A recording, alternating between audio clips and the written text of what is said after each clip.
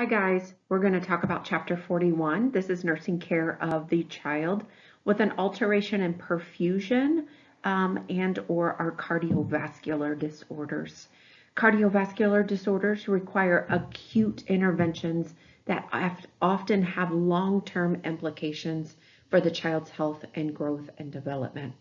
Due to the overwhelming and devastating effects that cardiovascular disorders can have on children and their families, Nurses really need to be skilled in assessment and interventions in this area and able to provide that support throughout the entire course of the illness and beyond. So let's get started here. So as we look to define perfusion, that really refers to the mechanism that facilitates the blood tissue. Alteration in perfusion are a significant cause of chronic illness and death in children. Cardiovascular disorders can be, um, be categorized in two major categories, congenital versus acquired. Congenital heart disease is defined as a structural anomaly that are present at birth. Congenital heart defects account for the largest percentage of all birth defects. And these birth defects can be um, heart result in heart failure, chronic cyanosis, which can eventually lead to failure to thrive. When we look at the acquired heart diseases, um, these are disorders that occur after birth. Um, so things like hypertension, hyperlipidemia, rheumatic fever, those can all be disorders that we don't have at birth that we get after birth that can become an acquired heart disease or it develops from a wide range of causes um, or can occur as a complication as a long-term effect of congenital heart defect. So you can see those listed there as well. So when we look at circulatory changes from gestation to birth, um, we can note that the fetal heart rate is present around post-conceptual day 17. The four chambers of the heart and arteries are formed during gestational weeks two through eight. And during fetal development, um, oxygenation of the fetus occurs um, in the placenta. The lungs are perfused, but they do not usually perform oxygenation and ventilation. The foramen ovale is that opening between the atria, which allows blood flow from the right to the left atrium. The ductus arteriosus allows blood flow between the pulmonary artery um, and the aorta, shunting blood away from the pulmonary circulation. Um, and you'll we'll kind of get into those um, as we get into our heart disorders. Both of these openings should close with that first breath of life. The lungs inflate, it reduces that pulmonary vascular resistance, the pulmonary artery pressure drops, Pressure in the right atrium decreases, the left atrium pressure increases, changes and changes in that pressure closes that foramen ovale.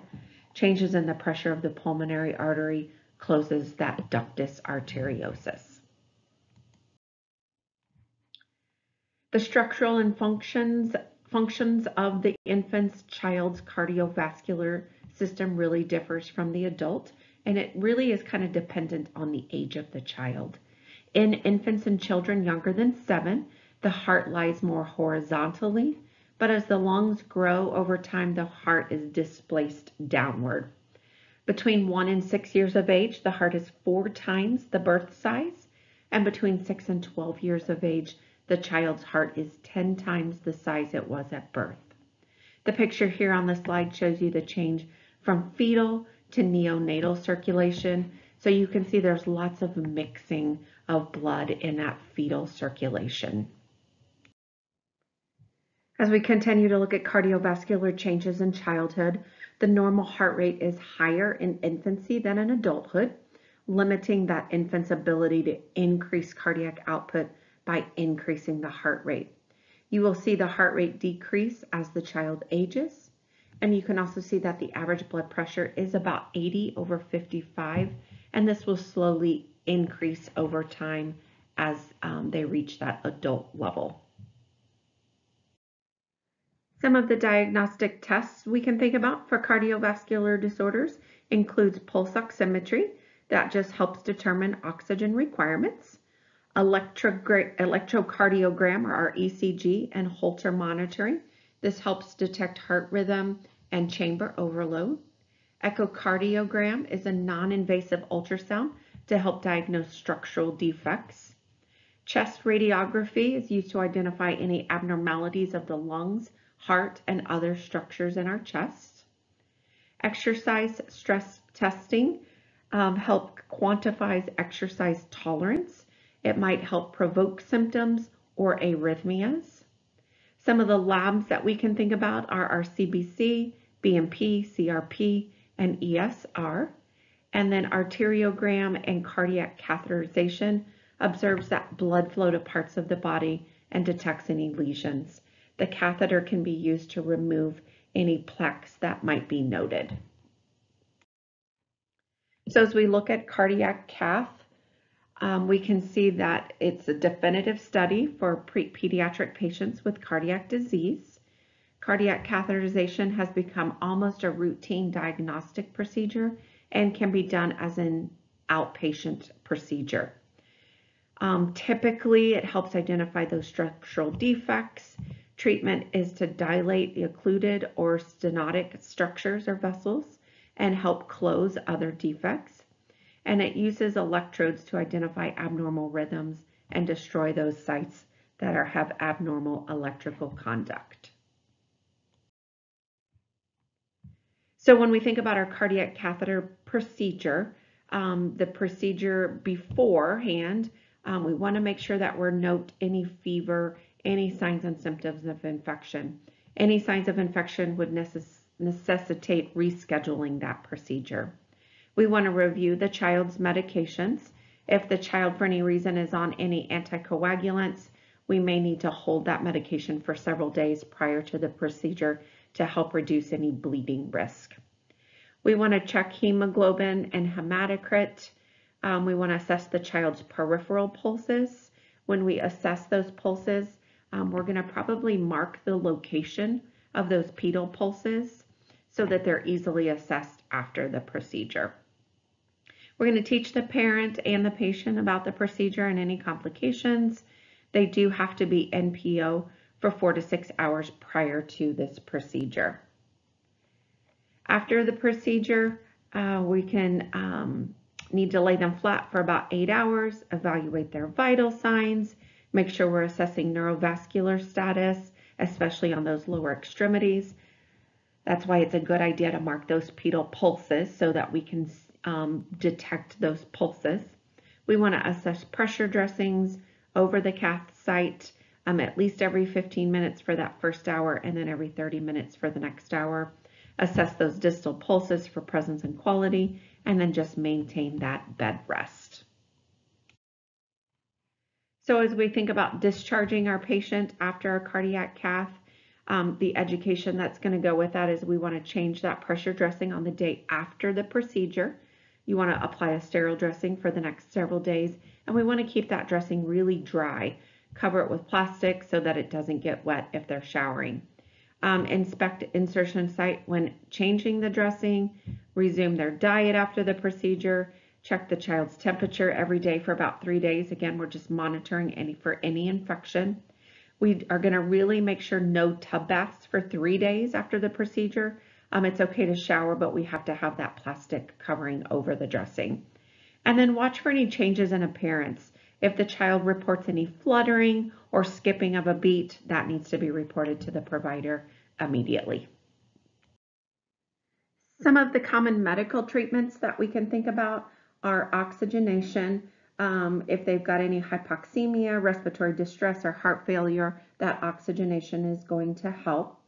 Chest physiotherapy, um, it's we're helping to immobilize some of those secretions that are in there um, particularly after they've had some type of um, procedure, um, operation, anything like that. A chest tube might be a treatment, um, especially if they've had open heart surgery. And then pacing might be another treatment we can think about.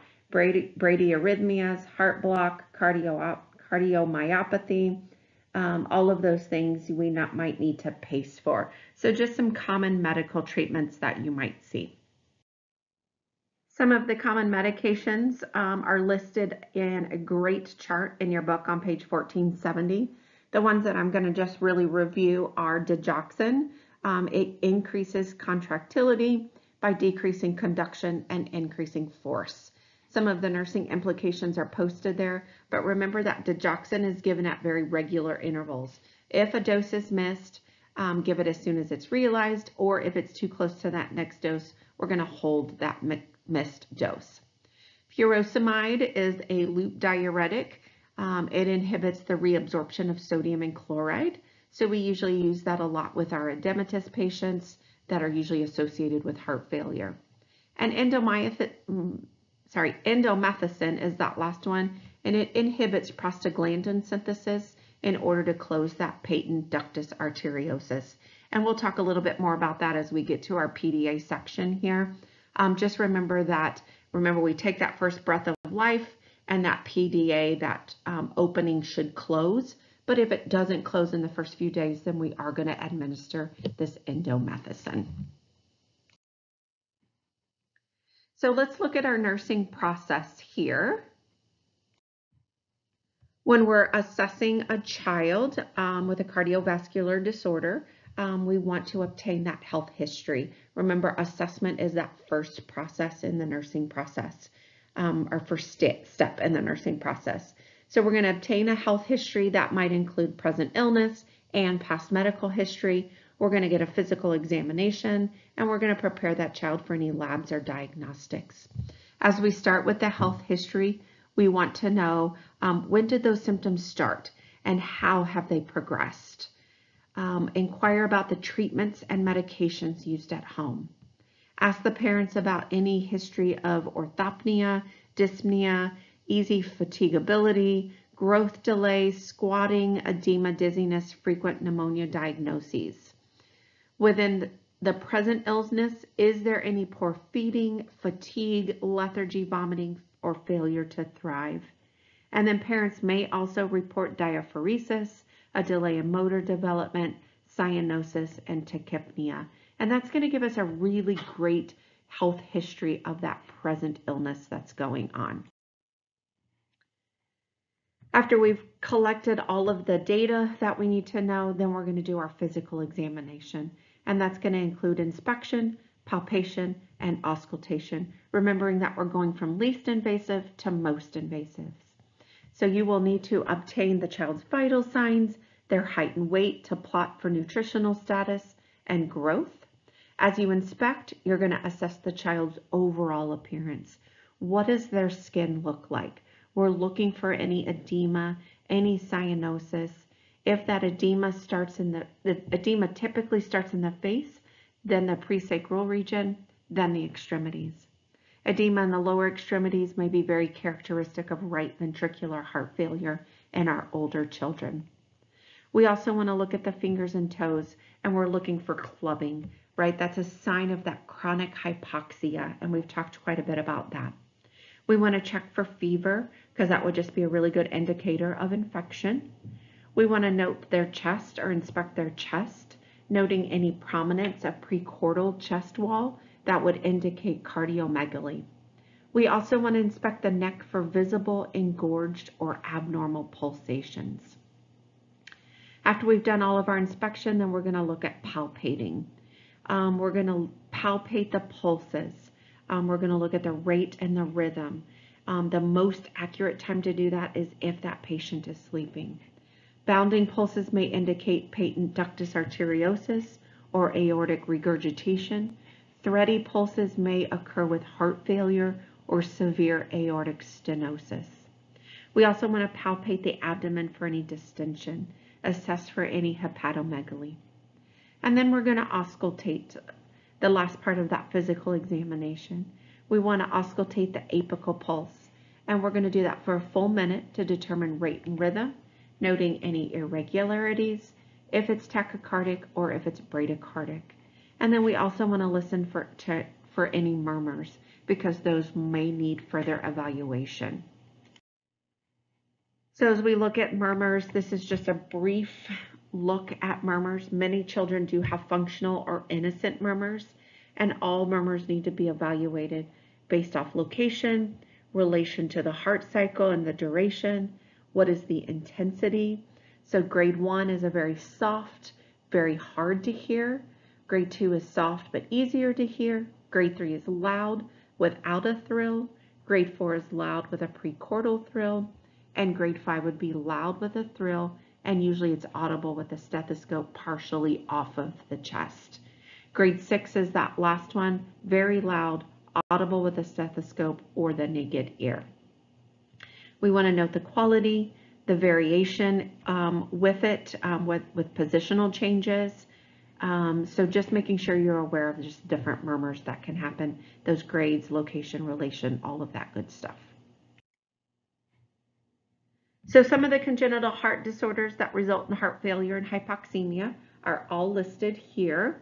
Um, the ones that we're really going to focus on for this chapter are VSD, the ventricular uh, septal defect, ASD, which is an atrial septal defect, PDA, which is our patent ductus arteriosus, tetralogy of Fallot, and TGA, which is our transposition of the great arteries. We may also hit a little bit on coarc of the aorta. So let's get started with some of these. So again, congenital heart disease affects about one third of infants. Um, they have a disease serious enough to result in death or require some type of cardiac cath. It's a major cause of death in that first year of life prematurity has a higher prevalence rate. It's the most common anomaly, or sorry, the most common anomaly is ventricular septal defect, and 28% of kids with CHD have another recognized anomaly. So when we think about the symptoms that we might see with congenital heart defect, um, we have to think about the why. Structures that formed to allow fetal circulation may have failed to close after birth altering the pressures necessary to maintain adequate blood flow. After birth, newborn pressures gradients within the heart and pulmonary system are necessary for adequate circulation to the lungs and the rest of the body. If these pressure gradients become disrupted due to either structure failing to close, narrowing, or transposition of vessels, then that systemic circulation becomes compromised. And you can see some of this general symptoms that we're going to see with all of our congenital heart defects. So let's start with our categories of the congenital heart defects. Um, we can categorize them by hemodynamic and blood flow patterns. The first one that we're going to talk about is decreased pulmonary blood flow, and this is right to left shunting. It occurs when there is some obstruction of blood flow to the lungs.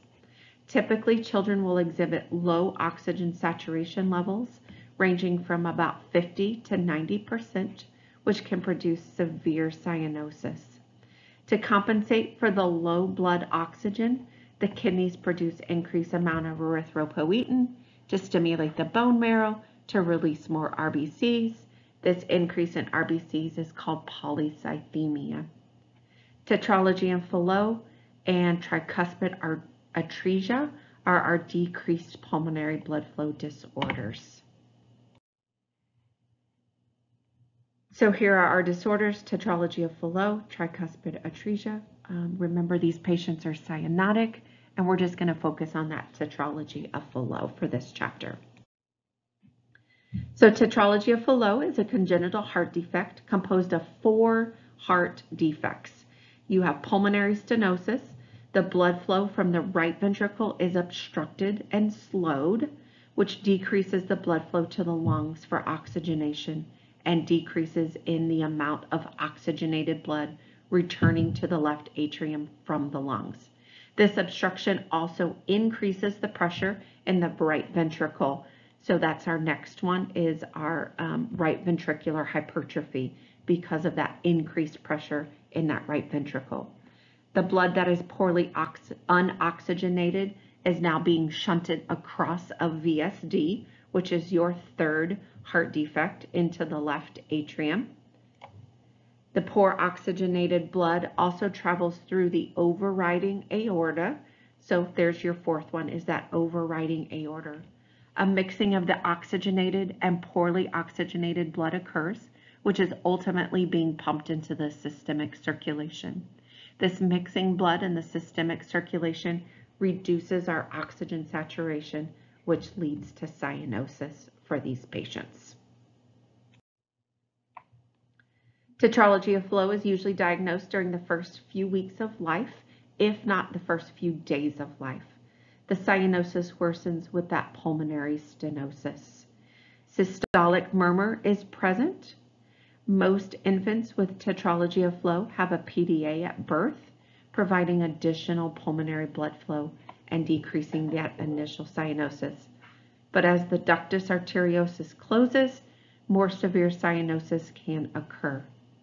Hypercyanosis, blue spells, or TET spells develop suddenly and worsen with increased cyanosis, hypoxemia, dyspnea, and agitation. So when we think about those hypercyanotic spells, how do we relieve those? Um, we can use a very calm, comforting approach. We can place the infant or child in a knee to chest position. That's also called a squatting position. Specific postures will help improve that pulmonary blood flow by increasing systemic vascular resistance. We can provide supplemental oxygen, administer morphine sulfate, apply IV or supply IV fluids, and administer propranolol. And all of those will help just relieve some of those hypercyanotic spells that these tetralogy of Fallot patients will experience. So when we're doing our physical examination on these patients, we want to note skin color and any evidence of cyanosis. We also want to observe the fingers for clubbing, auscultate the heart, noting a loud, harsh murmur is characteristic of this disorder. And you can see our little guy there um, in that squatting position um, because that's comforting during that TET spell or that hypercyanotic spell. So other things that we might see are that squatting, cyanosis, clubbing, and maybe even syncope. So the next one that we're going to talk about is increased pulmonary flow. Um, this is left to right shunting. The blood flowing to the lungs is large. The child may develop heart failure early in life. Increased pulmonary blood flow results in decreased system blood flow. So sodium and fluid retention may occur. Oxygen supplementation is really not helpful.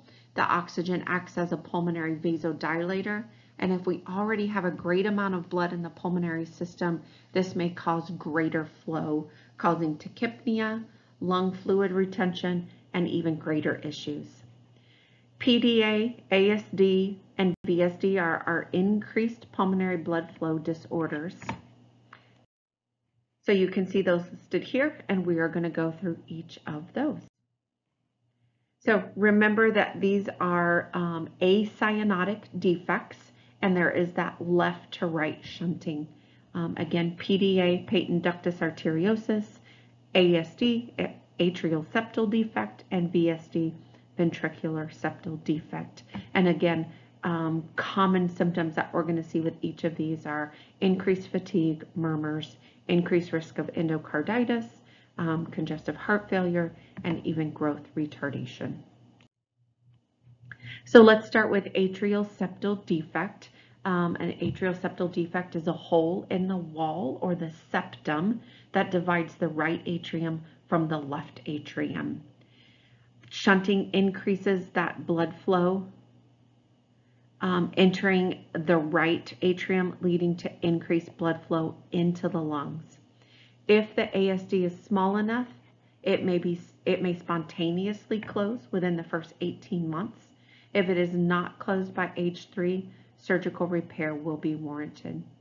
When you auscultate the heart, you'll hear a fixed split second heart sound with a systolic ejection murmur. Um, palpating the sternal border for a right ventricular heave, and that's due to that right ventricular hypertrophy um, because we just have more blood flow there. Management um, EKG is done to confirm diagnosis. If the defect is small, it may be sutured closed. Larger defects may require a patch of pericardium or synthetic material. After surgery, nurses will monitor for atrial arrhythmias. If the surgery is not elected, the patient is definitely at risk for endocarditis that could lead to heart failure. The most common heart defect here is our ventricular septal defect, um, and it accounts for about 30% of all congenital heart defects. VSD is an abnormal opening between the right and left ventricle. There's right to left shunting, resulting in that Menger syndrome or pulmonary hypertension and cyanosis. Spontaneous closure occurs in about half of the children by the age of two. Surgical repair has good outcomes and repairs of large defect is recommended to prevent development of pulmonary disease. Auscultation of the heart will note a holosystolic harsh murmur along that left sternal border. And we do want to palpate that chest for the thrill. Remember, this is left to right shunting, so increases the right ventricular pressure, causing hypertrophy, leads to that right ventricular failure. MRI or echocardiogram may reveal the opening as well as the extent of that left to right shunting. Management 60% of VSD closes spontaneously during that first year. Cardiac cath can be done to close the defect. Open heart surgery is required if we have larger defects. And the last one that we're going to talk about is patent ductus arteriosus. Um, this is a failure of that fetal ductus arteriosus to close within that first week of life, really within that first breath. Um, and then we're going to attempt medication and then it may still not be closed. As a result, that connection between the pulmonary artery and the aorta should close at birth with that first breath. Normally that closes within 10 days of birth. If it doesn't close with that first breath, um, complete closure may take up to about three months. Indomethacin is that in, um, prostaglandin inhibitor that synthesizes the closure of that PDA. So if we don't get it closed in the first breath, it's not closed within the first 10 days of life, um, we're definitely going to be thinking about that indomethacin. Failure of the ductus arteriosus to close leads to continued blood flow from the aorta to the pulmonary artery. Blood returning to that left atrium passes to the left ventricle, enters the aorta, travels to the pulmonary artery via that PDA instead of entering into the systemic circulation. This altered pattern increases the workload of the left side of the heart. Pulmonary vascular congestion does occur. On physical examination, you might see a diastolic blood pressure low because of that shunting. Um, the left ventricle is going to be enlarged. When you auscultate the lungs and the heart, you may hear rales if there's heart failure. You'll hear a harsh, continuous, machine-like murmur, loudest under that left clavicle. Labs and diagnostics and medications, um, we can think about our EKG or ECG, which will reveal the extent of the defect and confirm our diagnosis and then the chest x-ray might demonstrate that cardiomegaly. As far as treatment and nursing care, um, we're hoping that it will spontaneously close um, during that first year. Um, but if it doesn't, we know um, we've got some medications and or surgical intervention. We're going to give that indomethacin, which is that medication administration. We may need to surgically repair. We'll do prophylactic antibiotics to keep infection rates low um, when really what we're trying to do is prevent any congestive heart failure. So the third category that we're going to talk about is obstruction um, to blood flow. Um, this is a narrowing of a major vessel interfering with the ability of the blood to flow freely through that vessel. Peripheral circulation or blood flow to the lungs is affected some of the um, obstructive disorders that we can think about are coarctation of the aorta, aortic stenosis, and pulmonary um, stenosis. So again, here are our obstructive disorders. Remember these disorders involve some type of narrowing of a major vessel that interferes with the ability of blood to flow freely through the vessel. And we're going to just focus on that coarctation of the aorta. So coarctation of the aorta is a narrowing of the aorta, the major blood vessel carrying highly oxygenated blood from the left ventricle to the body. This accounts for about 4.2 to 6% of congenital heart defects, and it occurs three times more in males than in females. Coarc of the aorta occurs most often in the near in the area near to the ductus arteriosus. So we've already talked about that, right? Now we've gotten past that PDA, but now we have a narrowing of that vessel. Two locations that are common are preductal type in infantile and postductal type um, in the older patient. Left ventricular over afterload is increased, which might lead to that heart failure. So we need to determine the health history, noting any concerns with irritability or frequent epistaxis. Uh, older children may report leg pain with activity, dizziness, fainting, and headache. Pulses will be bounding in those upper extremities and weak or absent in the lower. Blood pressure may be higher in the upper extremity compared to the lower. Nurses do need to inspect notching of the ribs, especially in those school age children. And auscultation of the heart is going to hear a soft or moderately loud systolic murmur. So management is going to include um, balloon angioplasty via cardiac cath. Um, most common surgical repair is resection of the narrowed portion of that aorta, followed by end-to-end reanastomosis.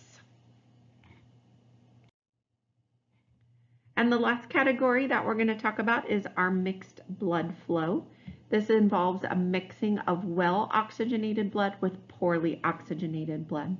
Systemic blood flow contains lower oxygen content and cardiac output is decreased and heart failure does occur. You can see the examples um, of our mixed blood flow disorders, transposition of the great vessel, total anomalous pulmonary venous return, truncus arteriosus, and hypoplastic left heart syndrome. So again, remember these are mixing of well oxygenated blood with poor oxygenated blood, and we're just going to focus on that transposition of the great vessel. So transposition of the great vessel is a heart defect in which the pulmonary artery and the aorta are transposed from their normal positions. The aorta arises from the right ventricle instead of the left, and the pulmonary artery arises from the left ventricle instead of the right. It is often diagnosed within the first few days of life um, when the newborn infant manifests cyanosis. When that ductus arteriosus closes, the symptoms actually worsen.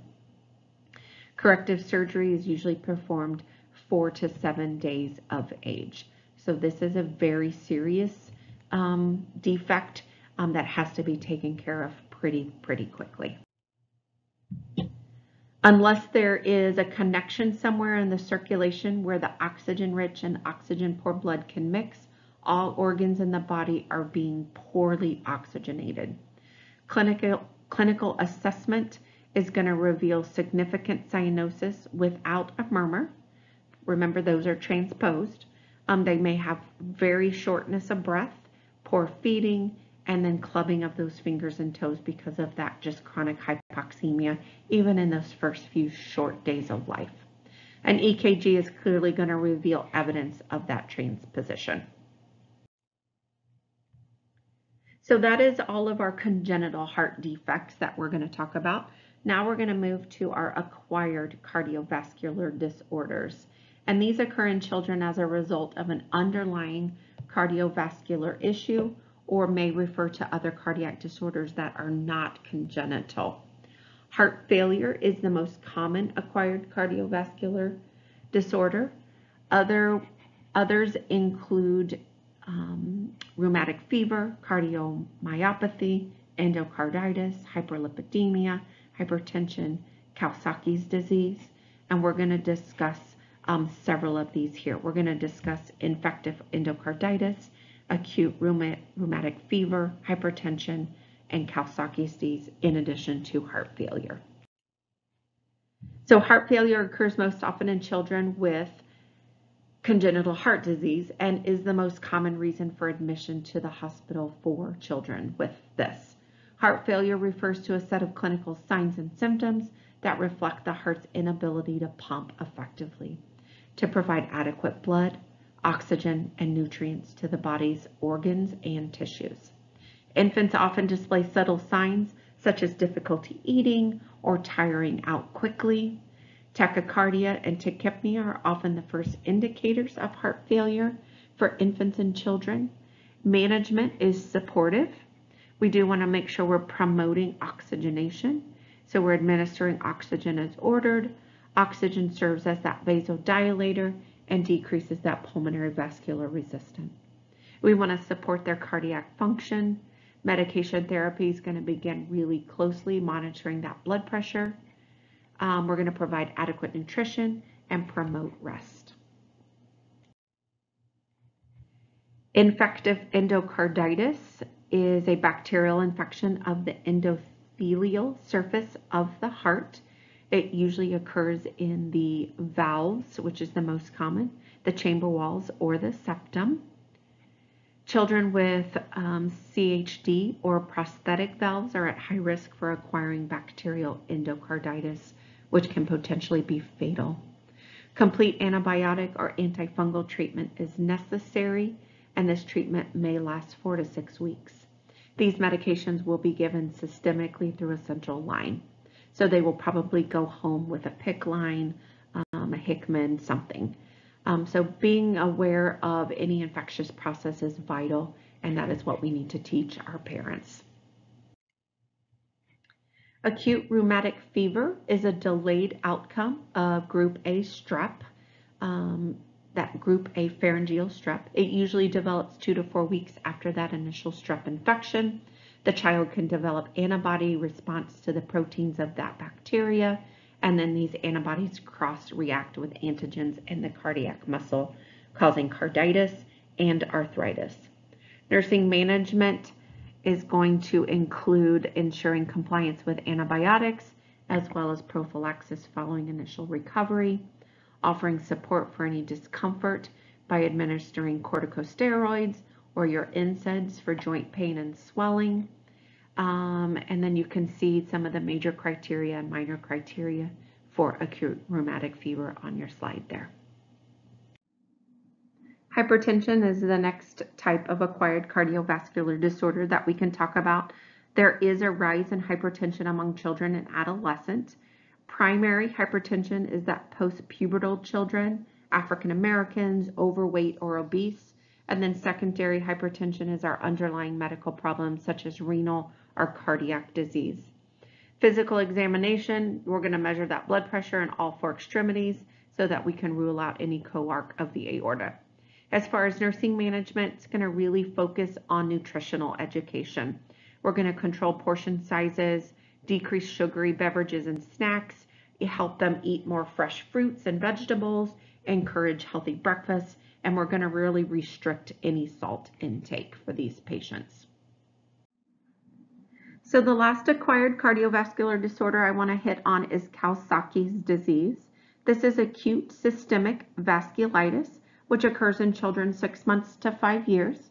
This is the leading cause of our acquired heart disease among children and often occurs in the winter months and in the summer months. It is self-limited but can cause cardiovascular complications such as coronary artery aneurysm and cardiomyopathy. Therapeutic management is going to focus on the reduction of inflammation in the walls of coronary arteries and preventing that coronary thrombosis. In addition to administration of aspirin and immunoglobulin, nursing management is also going to include um, monitoring that cardiac status. Um, we may need to do some IV or oral fluids as ordered and evaluate intake and output very carefully. We're going to prepare the child for an echocardiogram, assessing for any signs of developing heart failure, which might include tachycardia, a gallop, or respiratory distress. We are going to also promote comfort, acetaminophen or ibuprofen for fever, keeping the environment quiet and calm to decrease any stimulation and irritability, and comforting positions if that child is experiencing any joint pain or arthritis. And then we also want to provide lots and lots of education for our family. They're going to need to monitor temperatures very closely. Um, how are they going to cope with the irritability from their child? Reporting any toxic effects of aspirin therapy, avoiding NSAIDs while on the aspirin therapy, and keeping regularly scheduled cardiology follow-ups. When we look at them and do our physical assessment, our examination, signs and symptoms are going to include high fever for about five days that are really unresponsive to antibiotics, um, chills, malaise, extreme irritability, headache. Um, they do have these distinct rashes. Um, they have that big strawberry tongue and they have palmar erythema. They do have some skin desquamation, which is just that peeling of their perineum, fingers and toes. They may have some aneurysms or some abdominal and joint pain. So we can do some Tylenol or acetaminophen for any fever management if that is warranted. So nursing care focuses on focusing on cardiac disorders. We want to improve oxygenation. We want to promote adequate nutrition, assist the child and family with any coping, provide post-op nursing care, prevent infection, and then making sure that we're really educating our families before they go home. Psychosocial interventions might include explaining what is happening with that child. Um, use language um, that the parent and the child can understand. Throw all your lingo, your medical jargon, all of that out the window and really talk down um, to what is really happening with that child. Allow the parents and child to voice their feelings, concerns, or questions. Make sure you're providing ample time to address questions and concerns, and then encourage that parent and child as developmentally appropriate to participate in all cares. As far as nutrition, um, we've talked about making sure they have adequate nutrition. That's going to help foster growth and development. Congenital heart defects typically have increased nutritional needs because of that increased energy expenditure that they have with that increased cardiac and respiratory workload. Nutrition is provided for children with cardiac disorders. It could be orally, enterally, or parenterally. And that concludes chapter 41. If you have any questions, you can shoot me an email or we will chat, chat about it in class. Thanks, guys.